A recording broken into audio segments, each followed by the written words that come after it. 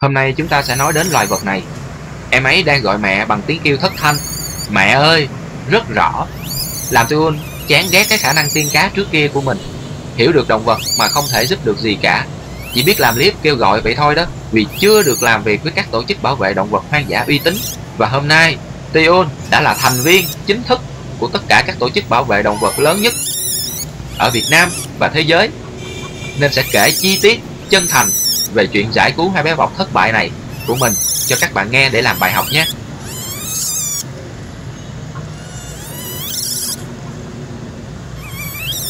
Trước tiên, tôi khuyên các bạn đừng bao giờ mua động vật hoang dã, Vì đó là tiếp tay cho những kẻ săn trộm thú, Tiếp tục làm chuyện ác với thiên nhiên và động vật, Mà cứ gọi thẳng cái đường dây nóng là 18001522 Để nhờ Trung tâm Giáo dục Thiên nhiên giúp đỡ Hiện tại kênh youtube này của Teon lập ra để kêu gọi bảo vệ động vật là chính.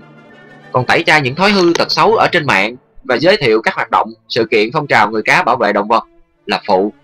Nên thật ra Tuyên cũng không có làm gì cho bản thân của mình, tất cả vì động vật và các bạn mà thôi.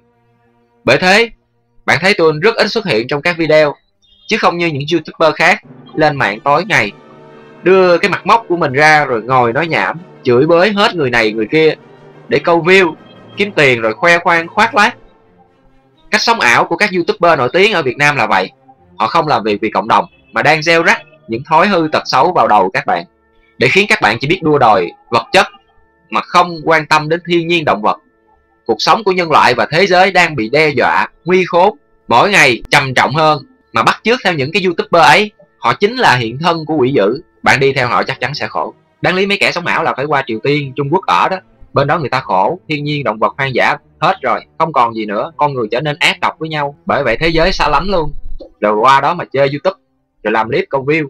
Bởi vậy mấy cái youtuber ở việt nam nè, tuyên truyền những cái điều độc hại bậy bạ để sau này con người trở nên tàn nhẫn với nhau hết luôn. Mấy cưng là quỷ hả? Anh sẽ chỉ mấy cưng. Mấy cưng sống bằng mấy cái lượng view ảo, anh thì không cần mấy cái đó đâu.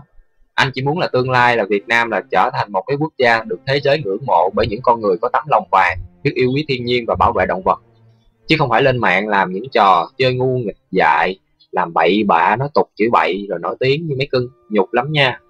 Nên đến với tiêu đi, để trở thành người cá khỏe mạnh và trí tuệ. Là nhà bảo vệ động vật, hoạt động môi trường, đi đâu người ta cũng kính nể mình. Tiêu nói ra những điều này để giúp cho các bạn tỉnh ngộ. Vì trong vòng 10 năm nữa thôi, sẽ có nhiều loài vật tuyệt chủng. Mà mấy bạn cứ ngồi yên như vậy ở nhà ngồi coi mấy cái clip của các youtuber thùng rỗng kêu to, thì sẽ giống như con ếch ngồi đáy giếng. Tới khi cái miệng giếng bị lấp lại rồi là tàn đời luôn nha. Đến với tiêu chắc chắn bạn sẽ có được tài sản quý nhất thế gian này là sức khỏe và trí tuệ. Có hai cái cơ hội để thành công nhất trong cuộc đời này mà không hề tạo nghiệp, bất thiện. Đó là trở thành thầy người cá, dạy bơi khắp thế giới. Không bao giờ thiếu việc làm và trở thành nhà bảo vệ động vật cho các tổ chức uy tín được thế giới công nhận. Nghĩa là mình thành người cá bảo vệ động vật đó các bạn. Bây giờ tôi sẽ kể cho các bạn nghe về câu chuyện của bé bọc này nha. Vì cái tư liệu video không đủ nên tôi mới lấy cái hình ảnh liên quan cho các bạn xem. Hồi đó khi cứu loài bọc này á, tôi không biết nó là con gì luôn. Chỉ thấy nó đẹp, giống như con khỉ vàng, chút xíu trong bộ phim Tây Du Ký của Châu Tinh Trì. Rồi chỉ mới đây đến rừng quốc gia Quốc Phương, gặp tiến sĩ Tilo Nader và quản lý trung tâm Sonya thì tôi mới được nghiên cứu hơn cả trăm cá thể vọc đang sống ở đó và hiểu rõ hơn về các loài vật này. Vậy mà hồi đó tôi mua bé vọc này á, từ một chú chuyên mua bán thú hoang dã, săn tay từ những kẻ săn trộm ở trong rừng. Cũng không có ai biết nó là vọc gì, chỉ biết bắt và bán kiếm tiền thế thôi.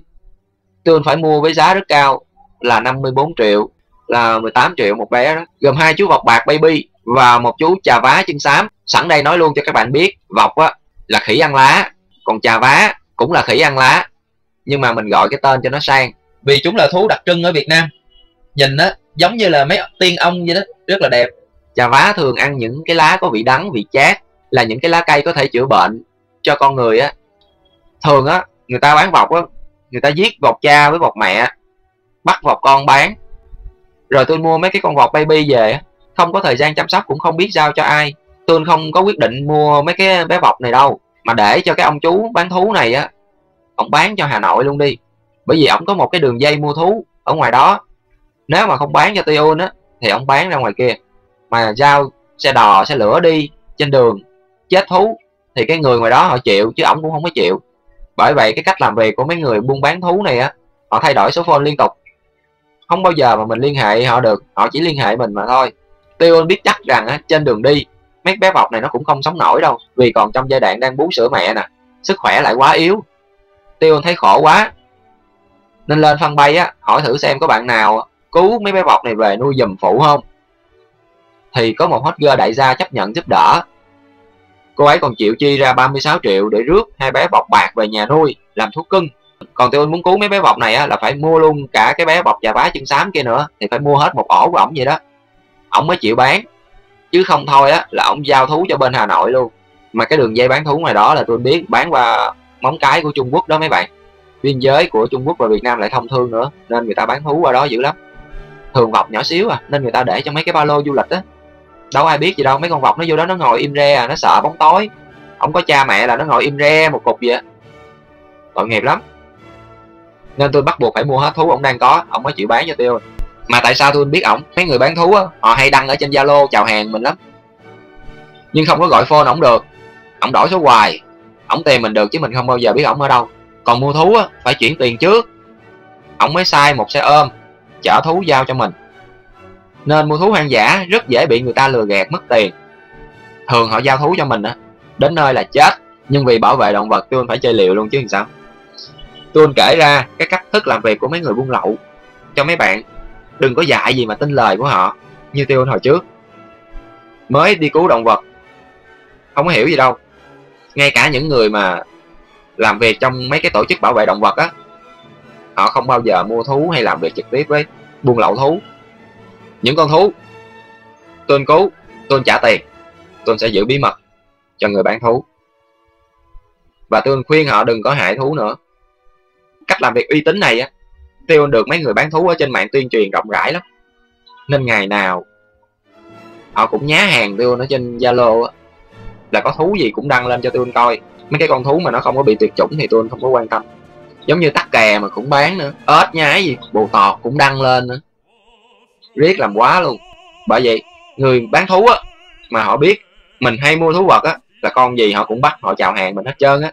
Nên các bạn mà thức tỉnh á, thì đừng bao giờ mua thú vật cả nếu càng mua thì họ sẽ càng bán. Họ biết bạn càng thích mua thì họ sẽ càng vẽ vời để cho các bạn mua. Cầu mong cho mấy người bán động vật. Họ xem cái hành động này giống như là bán con cái cha mẹ anh chị em của mình á. Họ nghĩ được như vậy á, thì họ mới thay đổi. Thì thiên nhiên động vật Việt Nam mới còn được cứu, chứ không thôi là tương lai chúng ta không còn cái gì đâu các bạn. Thú vật cứ bị bắt bán mỗi ngày như vậy riết. Chắc chắn là thú hoang dã không thể thành thú cưng được nên mấy bạn có mua thú hoang dã. Về nuôi, thì cũng liên hệ ENV gửi trả về thiên nhiên hết đi. Chứ càng nuôi là càng làm cho nó chết á. Tiền bạc mình kiếm được. Chứ thiên nhiên động vật mất rồi là không có kiếm được đâu nữa. Giống như con tê giác Japan cuối cùng ở Việt Nam bị tuyệt chủng, bị chết. Việt Nam dám qua mấy nước khác mua tê giác Java về nuôi không? Giờ tê giác Java nó chỉ còn ở Indonesia thôi đó. Đâu có mua được tê giác đó của quốc gia người ta mà người ta không có bán buôn gì hết. Nên mình lỡ bị mất tê giác Java rồi là xong. Mấy cái tổ chức nước ngoài nó không thèm viện trợ cho Việt Nam bảo vệ tê giác Java nữa. Mà nó ủng hộ cho Indonesia. Nó tài trợ đầu tư tiền cho Indonesia để bảo vệ tê giác Java. Bởi vậy những cái người làm hại thú vật của Việt Nam á, là đang phá hoại kinh tế của Việt Nam. Trung Quốc mua thú ở Việt Nam là để cho những cái nhà đầu tư nước ngoài không thèm để ý đến Việt Nam nữa, bỏ luôn Việt Nam. Trung Quốc mà có nhiều thú vật hoang dã hả? Thì các nguồn đầu tư nó sẽ tập trung vô Trung Quốc. Đơn giản như vậy mà các bạn không hiểu được. Nên các bạn phải ngăn chặn bây giờ những người làm hại động vật hoang dã. Họ không có cái đầu để suy nghĩ. Nên mình phải giúp cho họ thức tỉnh bằng cách đừng bao giờ mua thú vật của họ nữa, là họ sẽ không bắt nữa đâu các bạn à. Còn mua là còn bán, chỉ cần nhớ như vậy thôi, là chúng ta sẽ bài trừ được cái tệ nạn bán thú hoang dã ở Việt Nam. Tự chính quyền Việt Nam họ sẽ biết cách ngăn chặn ở biên giới như thế nào để không có thú vật bị bán ra nước ngoài nữa. Giống như TT ở xa Việt Nam Webline họ đã làm rất tốt, giải cứu được rất nhiều bị bán sang biên giới Trung Quốc. Những người anh hùng này, tôi rất ngưỡng mộ họ. Sao Việt Nam Wildlife vô địch. Những cái thứ vật chất mà con người đang tạo ra và quy định giá trị nó bằng tiền thì toàn là sản phẩm từ thiên nhiên mà ra không chứ đâu. Mấy đại gia việt nam nổi tiếng từ đâu mà ra các bạn? Toàn là nông dân, bán đất, ruộng, vườn, hoặc lên rừng vơ vét tài sản thiên nhiên, làm hại động vật mà giàu có. Chứ làm ăn chân chính, không hại ai thì làm sao giàu nổi. Bởi vậy, mấy cái người giàu họ cứ tưởng là mình ngon lắm. Thật ra đang tạo nghiệp không đó. Nên giờ thật sự tôi chỉ muốn làm thầy người cá dạy bơi, cho các bạn khỏe mạnh, giúp cho các bạn ý thức bảo vệ thiên nhiên và động vật. Không còn tạo ra mấy cái nghiệp sát sanh, làm hại thú vật nữa, thì mấy em mới có thể tiến hóa thành tiên cá được, đúng không? Chúng ta phải biết yêu quý thiên nhiên và động vật thì tương lai chúng ta mới còn phát triển lâu dài được. Còn chuyện mua mấy bé bọc này về nhà nuôi á, giao cho cái cô bạn hot girl mới quen, thì qua nói chuyện thời gian đầu á, thấy cô đó rất là tốt. Chứ trước khi quen cái cô bạn này á, là những lần mua thú baby khác nuôi không nổi, đăng lên mạng. Rồi có những cái mấy tổ chức họ đến nhận đem về trung tâm nuôi, là tôi đưa luôn à. Mà liên hệ lại thì chẳng biết tâm hơi họ đâu rồi, nên cũng làm tôi mất lòng tin vào con người dữ lắm. Các bạn thấy làm tiên cá, hiền từ dễ tin quá đúng không? Bởi vậy Tion không có làm tiên cá gì nữa hết, trở thành người cá bảo vệ động vật, chống lại cái ác, chống lại những vi phạm làm hại động vật. Tôi thấy ý nghĩa hơn, có lợi hơn, chứ làm tiên cá bị dù dập quá mấy bạn à mà khổ nổi lúc này tôi cũng chưa biết hai cái con vọc baby bằng khè này là vọc bạc đâu. Nghĩa là lớn lên lông chúng sẽ chuyển sang màu xám đó các bạn. Vì tin lời cái ông chú buôn thú nè. Ông nói với Tion á mấy con vọc này là siêu quý hiếm. Đó giờ ông chưa thấy bao giờ. Rồi tôi hỏi ổng rằng à, mấy cái màu cam này á là như thế nào? Lớn lên nó còn y chang vậy không chú? Ổng nói y chang vậy luôn á. Giờ nghĩ lại thấy ổng nói vậy là thấy nó không có logic chút nào. Chưa từng thấy ở bao giờ ở việt nam mà lớn lên màu cam y chang vậy ổng lừa như vậy mà tôi cũng tin nữa đó mấy bạn. Còn nghiêm trọng hơn nữa là tôi đi khoe điều đó với cô bạn rằng nó mà bị chết đó là việt nam tuyệt chủng thú quý hiếm luôn đó. Để mai mốt mấy bé này lớn lên đi. Rồi mình cho đăng báo. Là mình nổi tiếng luôn đó em. Nghe xong cô bé mê quá mấy bạn.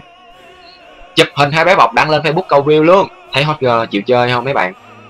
Đó, hot lắm. Đăng lên mấy ngàn like luôn mà.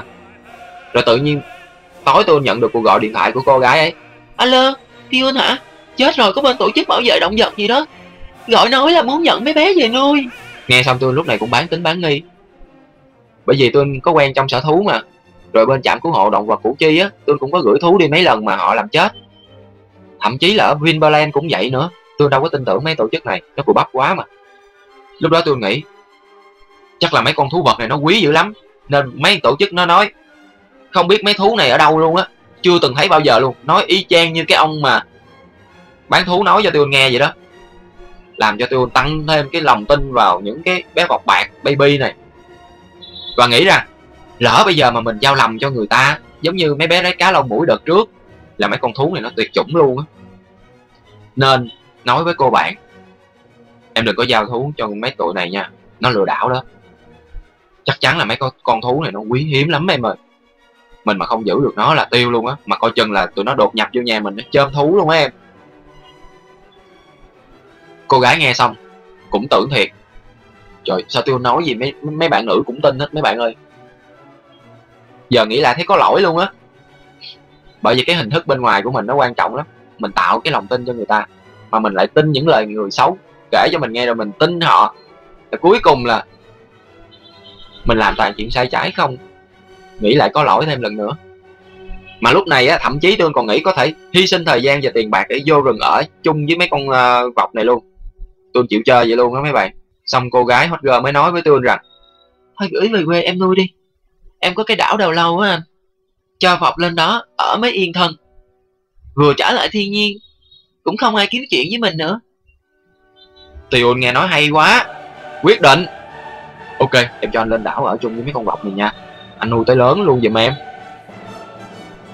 Nhưng cô gái quyết định là nhờ mấy người bạn mang về quê giùm. Thế là Tion cũng yên tâm thật sự nghĩ lại cái câu chuyện giải cứu hai cái bé vọc bạc baby này á, thấy mình ngu ngốc dễ sợ. Vì thiếu cái kiến thức về động vật hoang dã mà còn thiếu luôn cái kinh nghiệm ở ngoài cuộc đời. Đi tin lời cái ông bán thú, ổng đã muốn bán thú vật cho mình. Là nói sao cũng được hết á.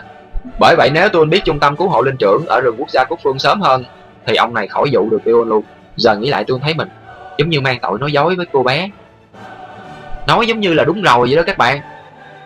Quý hiếm dữ lắm lớn lên lông cũng màu vàng luôn đó em. Con này là chưa bao giờ ai từng thấy. Ai ngờ sau 3 tháng, cô bé gửi vọc lên đảo đầu lâu á, thì gọi phone cho tiêu thêm lần nữa. Nói rằng, anh ơi, sao con vọc chuyển sang màu đen luôn rồi vậy?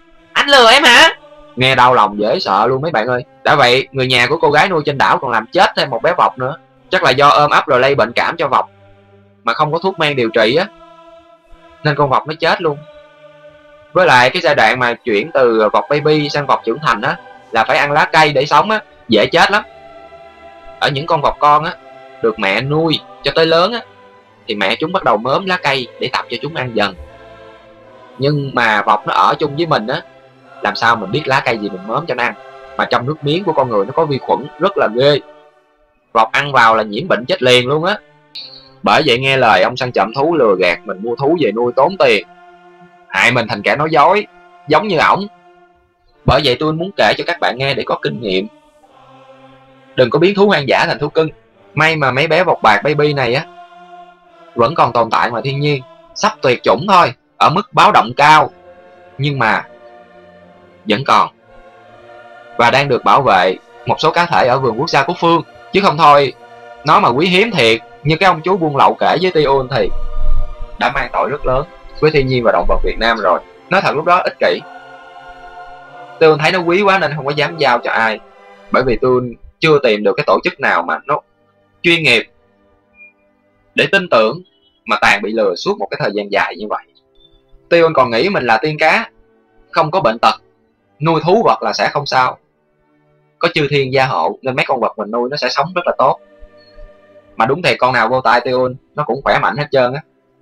Nhưng gửi cho người ta là nó chết, nó tàn đời. Cái cô gái hot girl tốn 36 triệu mua vọc bạc tiêu đã khuyên từ đầu rồi. Nuôi dùm tiêu anh tiêu anh trả tiền. Nhưng mà cô ấy cũng muốn biến nó thành thú cưng riêng của mình, nên quyết định trả tiền cho Tion lúc đó Tion đâu có nhận. Nhưng mà cô ấy nói, anh mua cho em đi, anh mua cho em. Tion cũng chiều cô ta luôn. Mà phải mua lúc ba con luôn. Về nuôi thêm con chà vá nữa bởi vì mua ba đứa con, ổng mới bán mà. Chứ hai con thì ổng đâu có chịu bán. Ba hay bốn ta? Không nhớ rõ. Ý, bốn con luôn mấy bạn. Giờ tôi mới nhớ tới hai con vọc trà vá lận. Nuôi vài bữa chết một con rồi nuôi vài bữa nữa chết thêm một con nữa là tôi mua tổng cộng là bốn con mà mỗi con là 18 triệu. Các bạn nhân dùm tiêu đi. Giờ tôi mới nhớ luôn mà. Má tiêu là người nuôi chứ đâu. Bởi vì mấy cái con vọc trà vá về là nó đã bị nhiễm bệnh cảm của người săn trộm rồi, nên không có sống nổi vọc mà dính bệnh của người là như vậy đó, nó biến chứng mạnh lên gấp chục lần. Thứ gì mà chịu nổi? Chết là chết thôi. Không có thuốc chữa các bạn à. Chỉ có trung tâm cứu hộ động vật hoang dã chuyên nghiệp mới có viện trợ thuốc men từ quốc tế. Chứ người thường nuôi vọc hả? Đó thiệt. Hai bữa chết ngắt. Không thể nuôi được đâu các bạn ơi. Người mình mà có bệnh là nó chết liền à. Giống như tôi từng nuôi bé vọc lớp ly suốt 2 năm. Vọc chà vá chân xám luôn. Nó bệnh lên bệnh xuống suốt ngày nhưng mà không có chết. Bởi vì mỗi lần nó sắp chết á tiêu phải dùng tiên khí á nói chính xác hơn là nhân điện, cấp bậc, thượng tiên á, để truyền năng lượng sống cứu bé. Tại sao là gọi là năng lượng thượng tiên? Bởi vì tôi ăn chay. Cái năng lượng đó nó tinh khiết lắm. Nhờ như vậy mà nó mới sống được. Riết mà tôi hao tổn nguyên khí không thể bù đắp lại được nữa. Giống như á, người nam mỗi lần xuất tinh để tạo ra em bé cùng với người nữ á, lượng tinh đó mất đi, không thể bù đắp lại được. Nó cứ hao mòn trong xương tủy của mình, rồi chúng ta chết dần trong bệnh tật. Nên mấy người mà đam mê tình dục bảo đảm sống không có thọ. Khả năng tiêu có được là nhờ bơi lội sinh ra năng lượng. Từ năng lượng đó giúp tiêu sinh ra trí tuệ để tiêu làm chủ được thân thể của mình, hiểu được mọi thứ trên đời này, bỏ được dục. Nên tất cả tinh của tiêu chuyển hóa thành tiên khí để giữ cho thân thể luôn cường tráng trí tuệ tinh thông, tỉnh táo, nhiều hơn là buồn ngủ. Nên ngủ một ngày hai tiếng là đủ rồi.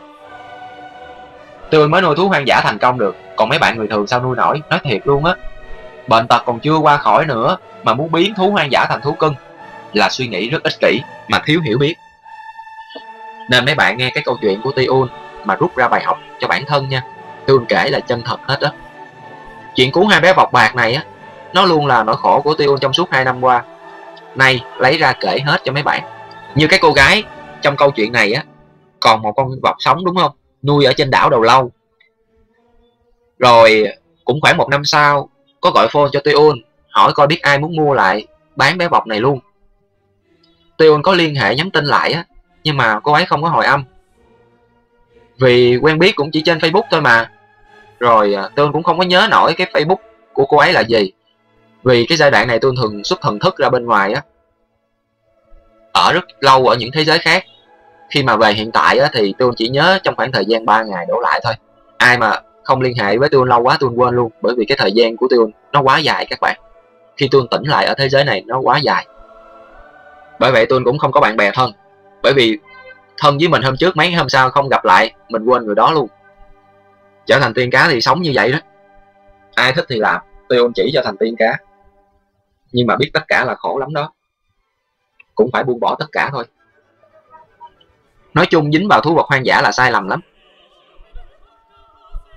Bởi vì á, thú vật hoang dã nó cũng giống như người thôi. Tất cả sinh vật đều là bình đẳng nếu các bạn đủ trí tuệ để hiểu được như vậy. Mình mang được thân người là phước còn những người mà mang thân thú á họ thiếu phước phải làm thú vật. Hoặc cũng có thể họ là bồ tát là những vị ở cõi trời á họ xuống, họ làm thú vật để giúp một ai đó thức tỉnh, hoặc để giữ một cái vai trò gì đó quan trọng ở ngoài tự nhiên. Họ đang làm việc để trả nghiệp, để cứu thế giới, mà các bạn lại bắt họ đem về nhà để làm thú cưng của mình là sai trái, họ chết thôi. Tất cả những gì con người học hỏi cho đến bây giờ có phải lấy từ động vật mà ra không? Từ thuốc chữa bệnh. Con người cũng đâu có biết thuốc gì để uống để chữa bệnh. Toàn coi mấy cái con ờ, vọc. Nó ăn lá cây gì mà nó hết bệnh, con khỉ nó ăn cái gì mà nó khỏe mạnh bởi vậy những cái con thú nó là bồ tát á là chư thiên là phật á họ đang làm cái công việc để được tái sanh để lên các cấp bậc cao hơn. Từ quỷ thần tái sanh bao nhiêu đời như kiếp á, mới được lên tiên. Rồi từ tiên tái sanh cũng bao nhiêu đời kiếp vậy đó tu luyện lên phật giác ngộ. Phật giác ngộ xong rồi lại muốn cứu độ chúng sanh lại tái sanh tiếp. Các bạn nếu mà hiểu được những gì tôi nói hôm nay thì chắc chắn sẽ không còn ai hại động vật nữa. Riêng Tiun thì luôn thấy bản thân mình là một tội đồ. Cái việc mà bỏ tiền ra cứu động vật là sai trái lắm luôn. Nên để bù lại những việc làm sai trái ấy Tiun quyết tâm cứu động vật. Tốn bao nhiêu tiền của cũng không tiếc. Uổng phí mấy năm qua, không ai hiểu được. Và cũng chính vì càng sai lại lúng vào cái sai của mình là bỏ tiền để cứu động vật là rất là sai mà cũng nhờ trong suốt 6 năm qua không biết được ENV Tiêu mới có được cái kinh nghiệm giải cứu động vật rất là nhiều. Để rồi hôm nay có thể chia sẻ cho các bạn biết. Để rồi tương lai không còn thú vật bị hại nữa. Tiêu nói hết ra để các bạn đừng có bị những kẻ làm hại động vật, dụ dỗ. Khiến cho mình mắc phải những cái sai lầm. Từ một cái việc làm tốt của mình mà biến thành một cái việc làm rất là xấu xa tồi tệ. Không muốn các bạn phải bị khổ như vậy giống Tion ha. Không phải dễ dàng gì mà tôi có được cái nhận thức về loài vật như hôm nay. Các bạn thấy đó phải đánh đổi bằng nước mắt của Tiun và các loài vật khác nữa. Những con thú nhỏ nó bị hại mất cha mẹ, nước mắt nó chảy vào trong tim đó. nỗi đau của nó là bị những người chủ thương yêu rồi ruồng bỏ, rồi họ giao nó cho Tiun và kêu Tiun trả nó về tự nhiên. Nó mất bản năng sinh tồn rồi, sao trả về tự nhiên? Khó lắm. Có ai dạy nó đâu mà nó trả về tự nhiên. Các bạn hãy nhận ra rằng chúng ta không thể làm cha mẹ của thú vật hoang dã được chúng ta là người, chúng ta có cha mẹ của mình là người. Chỉ có cha mẹ của chúng ta mới dạy được chúng ta thôi. Còn những con vật hoang dã, các bạn không có sinh ra nó, sao các bạn dạy được nó? Nên làm ơn đừng có mua nó. Các bạn càng mua nó là càng hại nó. Hãy tố cáo tất cả những ai đang rao bán thú vật hoang dã ở trên mạng đi. Hãy chặn đứng những cái việc làm xấu này lại, hay các bạn đi ra đường, các bạn thấy ai đang bắt nhốt thú hoang dã, cứ thông báo cho tổ chức ENV họ đến họ giải cứu. 1800 1522 chúng ta cũng không cần phải nói nhiều, phải ra mặt. Giờ chuẩn bị quay lại xem cảnh khóc cha nhớ mẹ của hai bé vọt bạc mồ côi của tiêu nha. Rồi các bạn hãy tưởng tượng mình là chúng đi. Cảm nhận nỗi đau nói chuyện mà không có ai hiểu được. Sự thèm khát tình yêu thương của cha mẹ mà không có ai thay thế được. Nếu các bạn có thể đồng cảm với những con vật á, thì hãy kiên quyết lên. Giống tiêu, gọi 18001522 khi thấy thú hoang dã bị hại hoặc ngoài giờ làm việc của trung tâm thì bạn có thể gọi thẳng cho tôi bất cứ lúc nào cũng được. 0909 233 501